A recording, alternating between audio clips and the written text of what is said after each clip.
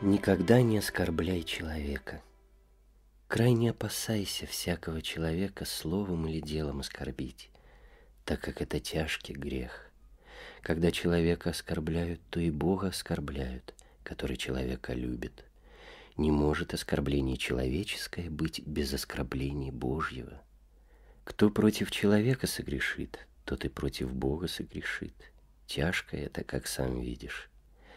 Поэтому, как только оскорбишь ближнего своего, то сразу же смирись перед ним и попроси у него со смирением прощения, и не попадешь под праведный суд Божий.